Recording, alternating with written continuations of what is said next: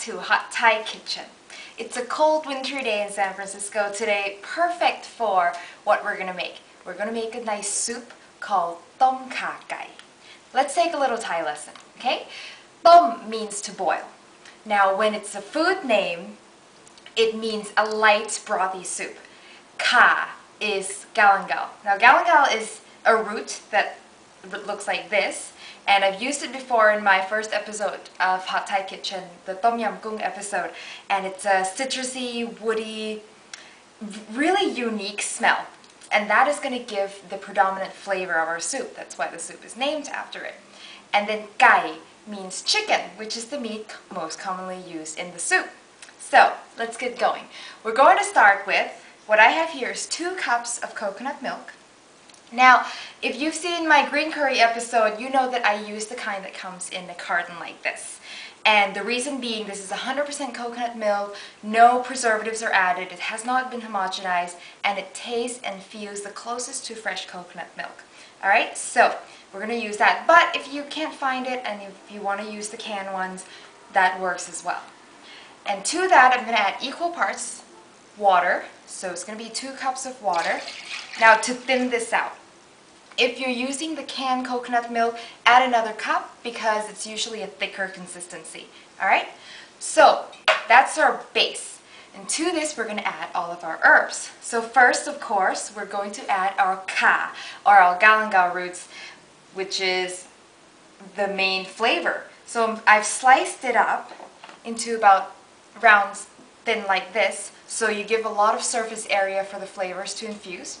Okay, about 10 off they go in there.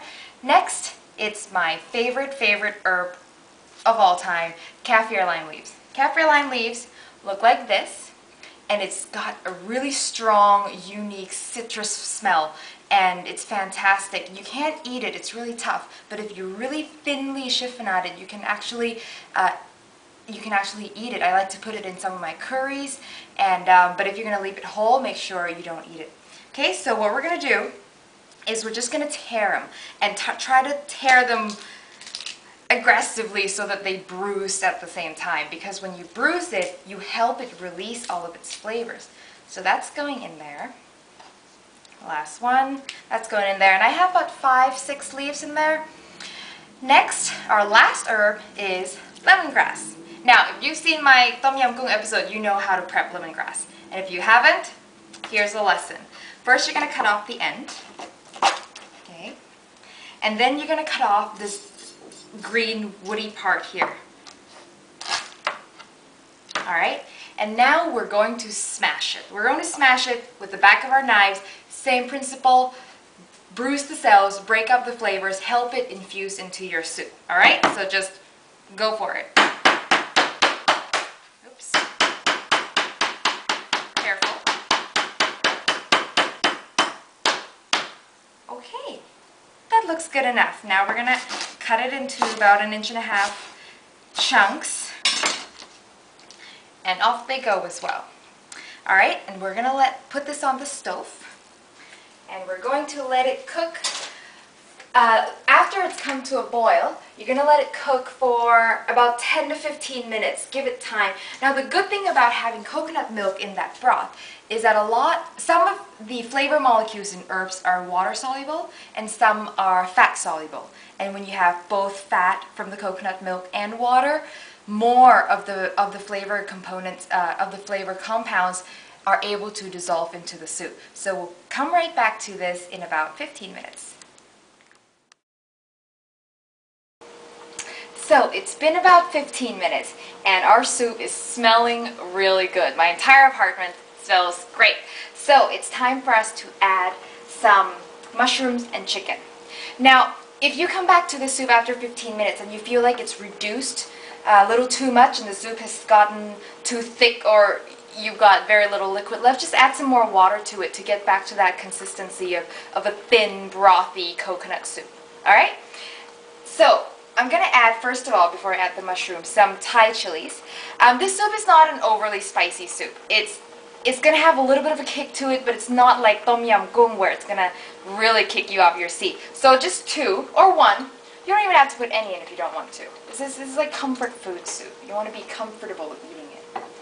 Now, next we're going to add oyster mushrooms. All right, oyster mushrooms. Uh, they're going to add take about a couple minutes to cook, so we're going to add them first. After the mushrooms have wilted a little bit, look at all those herbs. We're going to add about two breasts of chicken that I've cut um, into bite-sized pieces, and I marinated this in, in some fish sauce for a few hours. We're going to add that to our soup. So our chicken is done, and our mushrooms is also done, and it is looking very good. Now is the time for our seasoning. You can come take a look at uh, what our soup is looking like right now. Now, if you notice, I have all the herbs still in there, and that's very traditional. We leave all the herbs in there. We're not supposed to eat them. You will not be able to chew and swallow them because they're really hard, but uh, for almost for garnish. So you know the flavors that are in there to visually represent the taste in your mouth, all right?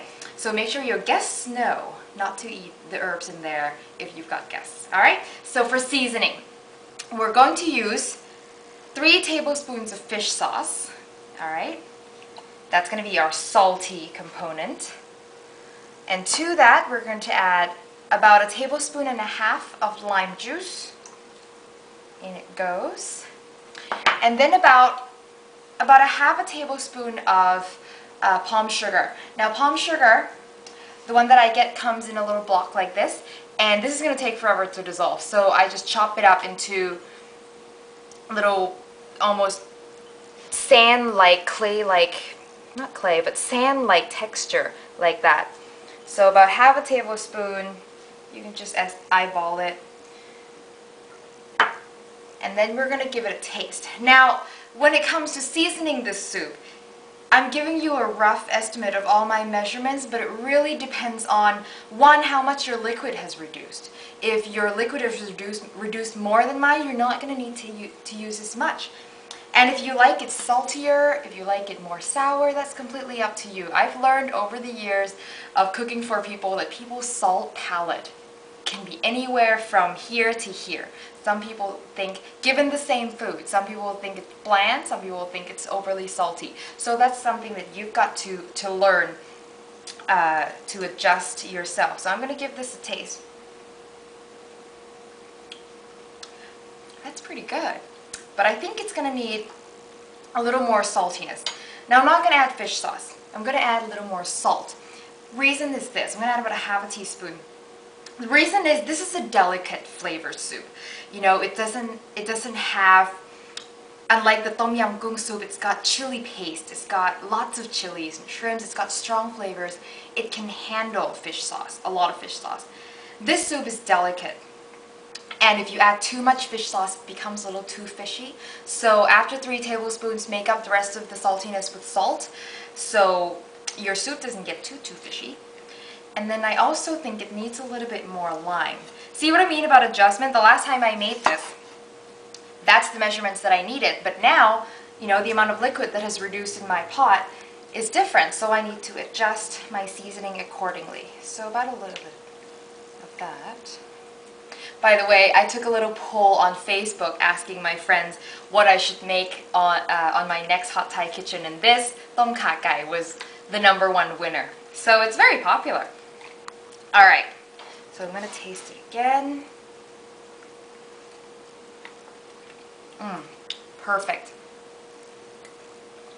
That is really good. That's perfect. Just a little bit of spiciness, sour, salty, sweet, well balanced smooth mouth feel.